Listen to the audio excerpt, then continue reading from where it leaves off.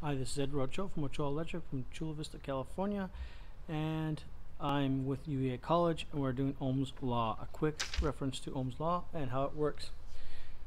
Okay, we have power measured in watts. Get that? Then we have current measured in amps. And then we have voltage.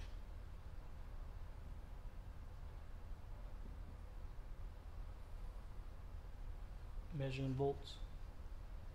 And this is our formula that we'll be using forever.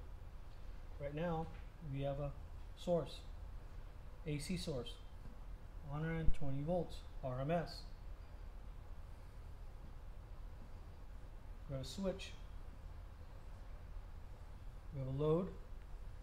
We have a conductor. This is the neutral side. This is the hot side black wire, red wire, blue wire. This is the white wire coming back. Wherever force you go out, it has to come back in. We have a light bulb, 30 watts. Hence the formula, power. So we've got 30 watts, and I want to find amperage. That's watts over volts. Watts, 30 watts, a volt is 120. This equals 25 amps.